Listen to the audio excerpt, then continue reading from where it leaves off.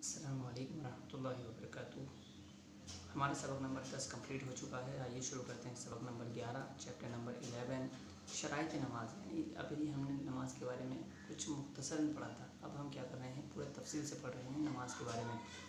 तो नमाज़ के बारे में शुरू करते हैं। शराइत नमाज़ की शराइत क्या है? फ़र्ज़ और शर्त अलग अलग चीज़ होती है। फ़र्ज़ नमाज़ के अंदर होता है शराइत नमाज़ से पहले होता है। यानी नमाज़ हम पढ़ने जा रहे हैं तो शराइत पहले आएँगे।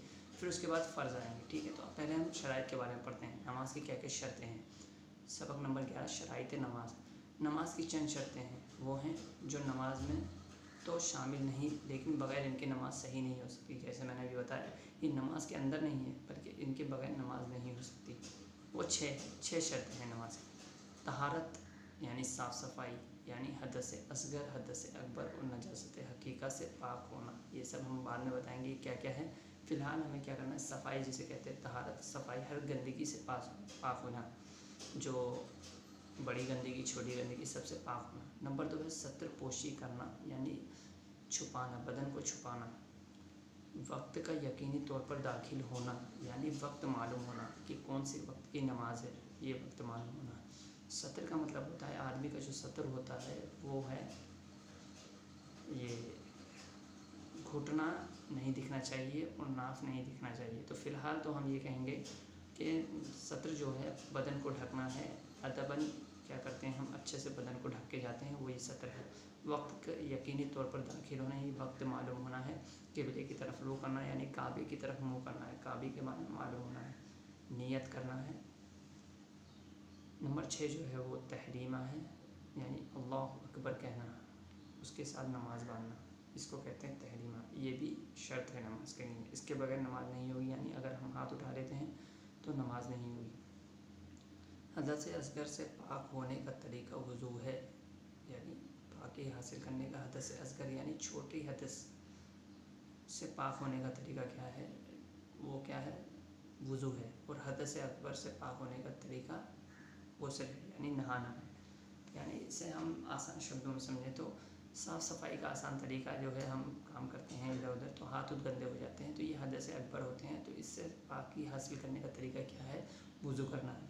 और जैसे ज़्यादा गंदगी हो जाए बदन पर, जैसे कि हमने कहा कि किसी की टॉयलेट निकल जाती है, आसान लफ्ज़ों में समझे तो उससे पाक होने का तरीका क्या है? गुसल करना है। ठीक है, जहाँ पानी ना हो या इस्तेमाल सख्त नुकसान देता हो, वहाँ वज़ू या गसल के बदले तयम करना चाहिए।